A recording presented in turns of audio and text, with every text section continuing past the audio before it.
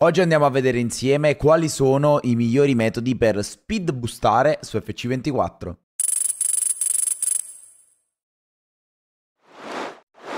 Ciao ragazzi, bentornati sul mio canale YouTube. Oggi come di consueto appuntamento con il tutorial sugli speed boost per cui andiamo a vedere insieme quali sono i metodi migliori per poter prendere velocità su FC24 e soprattutto quando andare ad applicare un determinato metodo rispetto ad un altro. Già vi preavviso che anche questo video ve lo divido per capitoli perché ad ogni speed boost coincide un determinato accorgimento da prendere prima di poterlo mettere in pratica. Partiamo da quello che secondo me è lo speed boost più semplice in assoluto su FC24, però per poterlo performare al meglio dobbiamo tenere una determinata impostazione all'interno delle impostazioni di gioco. Per cui andiamo qua nella prima sezione e dobbiamo scendere fino a quando non troviamo la voce delle preferenze del controller e in particolare al suo interno troveremo quella che ci interessa a noi, ovvero lo scatto analogico che va messo assolutamente su no. Per quale motivo? Lo scatto analogico ci dice ci permette di controllare la velocità negli scatti, più tengo premuto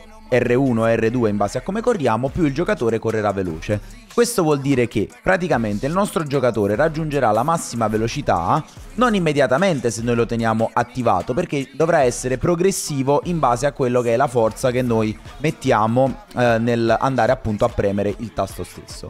Avendolo invece impostato su no, quando noi schiacciamo R1 o R2 il giocatore partirà subito alla massima potenza. Quindi noi che cosa facciamo per poter fare questo speed boost? Come potete vedere vi ho messo anche il controller in alto lì a destra in maniera tale da poter vedere uh, quello che vado a fare. Molto semplicemente ragazzi, avendo la palla tra i piedi, quindi rallentando perché sto controllando semplicemente con l'analogico, vado all'improvviso a schiacciare il tasto della corsa e vedete come il giocatore performerà questo speed boost che però nel momento in cui vado a togliere il tasto dalla corsa si va a esaurire, quindi è molto comodo per poter magari saltare momentaneamente un avversario, poi se ne sta arrivando un altro tolgo subito il dito, anche qua vedete faccio lo speed boost poi mi fermo, faccio lo speed boost e poi mi fermo. Questo qui è un po' un'evoluzione di quello che è lo speed boost che in passato si faceva con L1, come potete vedere, rallentavamo in questo modo e poi schiacciavamo il tasto della corsa. Anche questo qui è valido tuttora, però rispetto a questo qui invece facendo solo il tasto della corsa noto che alle volte il giocatore tende a tenere la palla un po' sotto quanto ai piedi. Però anche questo qui per poter accentuare ancora di più questo effetto di rallentamento e poi di scatto immediato può tornare molto comodo per bruciare un avversario che non si aspetta il nostro boost. Un altro metodo per poter speed boostare su FC24 è come l'anno scorso il doppio passo. Una skill che è abbastanza semplice da eseguire se seguirete quelli che sono gli accorgimenti che vi vado appunto ad illustrare. Innanzitutto tenete bene presente sullo schermo quello che è il pad che vi ho messo appunto per farvi capire bene i movimenti e poi come riferimento voi dovete iniziare a calcolare quella che è la direzione verso cui stiamo andando, quindi la direzione in cui guarda il giocatore.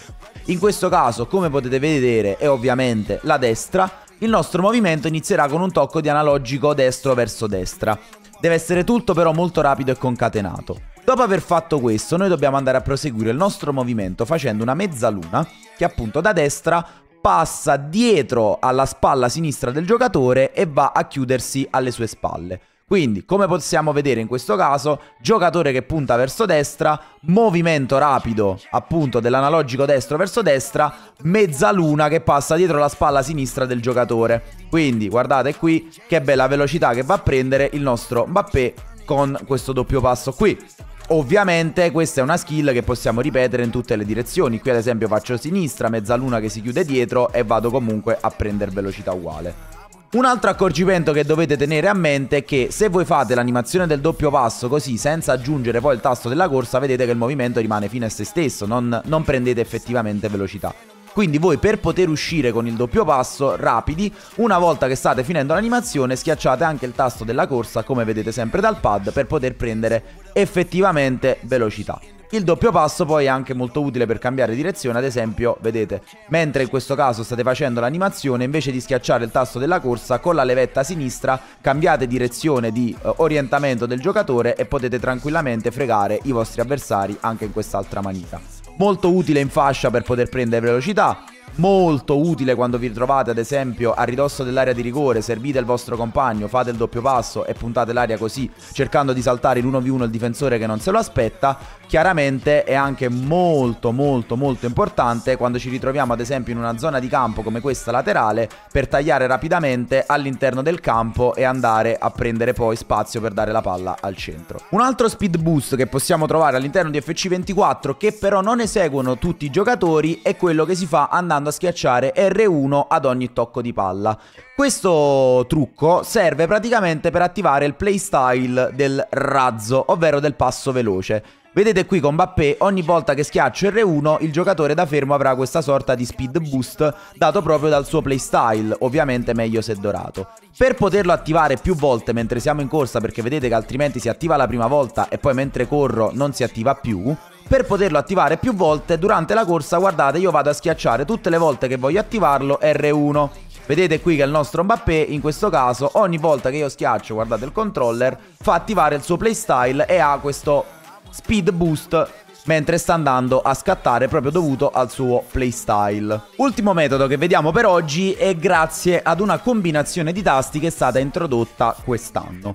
Quindi dovete avere a mente con quale tasto voi fate il tiro a giro. Quindi il tasto opposto alla corsa in realtà. Per cui se correte con R1 utilizzerete R2, se correte con R2 utilizzerete R1.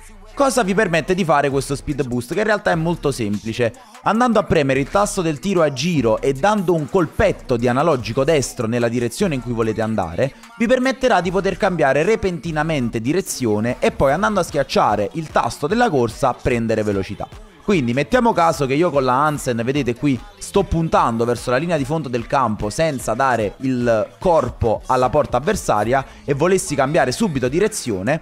Quindi mentre sto camminando schiaccio R2 nel mio caso più un analogico destro con un colpetto verso sinistra e guardate qui che cosa farà, cambierà direzione all'improvviso. La stessa cosa la posso fare anche se sto puntando di qua, poi giro verso sinistra, il giocatore punta più rapido, ovviamente verso destra, quindi per tutte quante quelle che sono le porzioni di gioco. E questo è molto comodo perché vedete il primo movimento che fa, butta palla in avanti accelerando, però butta palla accelerando controllandola anche, non è un lanciare la palla e dare la possibilità ai difensori di poterla recuperare, assolutamente no. Guardate, è utile anche proprio a ridosso dell'area di rigore per creare separazione e dare questa sensazione all'avversario di poter intervenire ma in realtà poi magari ti vai a subire fallo perché si tratta di un movimento abbastanza ampio sul quale non è semplicissimo intervenire per i difensori. Questa credo che l'abbiano introdotta appunto come vi dicevo quest'anno e al momento è, una, è, una, è uno speed boost che vedo un po' sottovalutato perché non lo vedo utilizzare tantissimo, ma vi assicuro che è veramente veramente forte. L'ultimo speed boost che vediamo oggi è un po' il gemello di quello che è l'allungo palla che si fa, guardate sempre il controller, schiacciando l'analogico nella direzione in cui stiamo andando, quindi in questo caso muovendolo verso destra.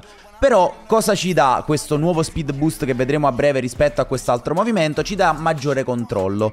Quindi se noi stiamo correndo in questo caso magari verso destra, Cosa andiamo a fare? Andiamo a schiacciare due volte il tasto dell'R1 mentre siamo in corsa e vedete come il nostro giocatore si va ad, ad allungare la palla e questa roba qua si può fare ovviamente anche cambiando direzione. E questo è molto comodo quando magari si vuole lasciare alle spalle un difensore che è più lento perché chiaramente se andiamo a cambiare direzione e facciamo questo boost il giocatore nostro si metterà davanti con il fisico lasciando l'avversario appunto senza la possibilità di poter intervenire. Ragazzi per questo video è tutto, io come al solito vi ricordo di lasciare un like, di iscrivervi al canale, mi trovate live tutti i giorni sulla piattaforma Viola da mattina fino a più o meno le 2 alle 3 non mi resta altro che augurarvi una buona giornata, Anzatone al vostro Peroschi e a presto. Ciao.